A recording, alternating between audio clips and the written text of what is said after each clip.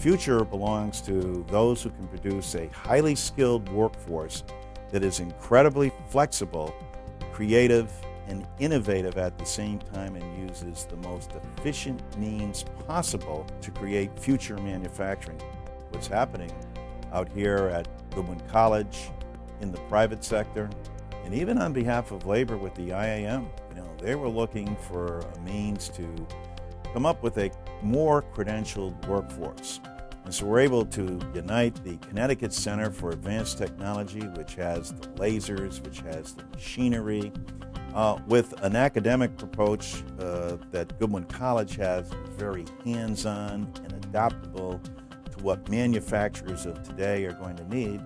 And then enlist the support of a major company like United Technology, but specifically uh, Pratt & Whitney, uh, who's very deeply involved in the aerospace business, who works with the IAM on a regular basis, that could stand to gain from the benefits of the uh, Connecticut Center for Advanced Technology, that can all be brought together to become a credentialed workforce, a workforce for the future, right here at Goodwin College. The assumption was about 15 years ago that manufacturing was dead in the United States and dead in Connecticut, and all the jobs that were left were going overseas. And so everyone told their kids, that's not a really good field to go into. And suddenly, in a very quiet way, there are 22,000 jobs in manufacturing, a new manufacturing, a high tech manufacturing in the state of Connecticut. Goodwin College actually is here very clearly to find work for our students. You can't find work for students unless you know what it is the job market is asking for. The entire program has to be based around the needs of our employers. I went to Goodwin College and met with Mark and the team, and we got into this manufacturing advisory council. I felt it was a different way of doing things. They're a breed above. They definitely uh, listen. You know, they have exit strategies where they're talking to their students about where they're going to work. There's a, a large exodus going to be in the next 10 years of very qualified people um, who will be retiring. So we have uh, a big gap to fill. Goodwin is actually going to be certifying their people, which is very special. And, you know, we've invited them to bring any of their people over here that we can give them a walkthrough to show them really what our needs are and what our expectations are. So it's, it's really got to be a, a partnership between Goodwin College and the supply base to develop these people and the people we need for our future. The thing that sets Goodwin College apart is that they have come out to industry and they've asked what the requirements are. It's much easier to train to a job or to teach to a job as opposed to um, create a job after you've been trained.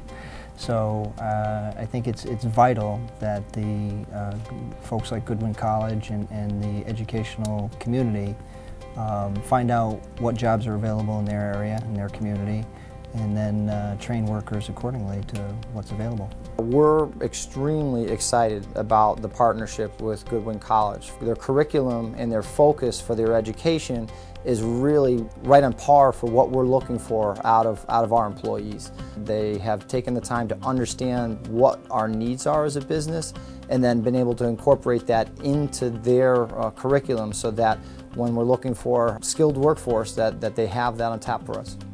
You draw a 100 mile radius from where I'm standing right now, there are literally thousands of companies that do precision machining and special processing. It's imperative that we keep that expertise in this radius. It's not our divine destiny to be here. So it's imperative that each and every company work with academia, as we're talking about today, to sustain these skills and grow this industry right here in this region. The workforce that we're going to look for, they need to be skilled.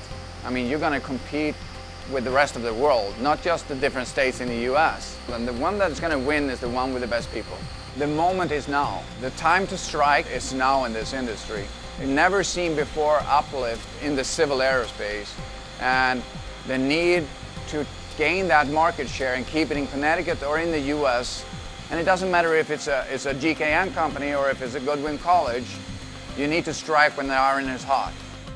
We have to make sure that we're enhancing the workforce in a way that they are both academically uh, achieving the goals that are going to be needed to compete in a global economy, but also have the basic skill sets. And I'm not just talking about reading, writing, and arithmetic, but the actual applications that come from trades. And so it's not your trade union of your father's past either. It's how we combine that science, technology, innovation, and the creativity that comes from a human being. That's what's encapsulated here at Goodwin College.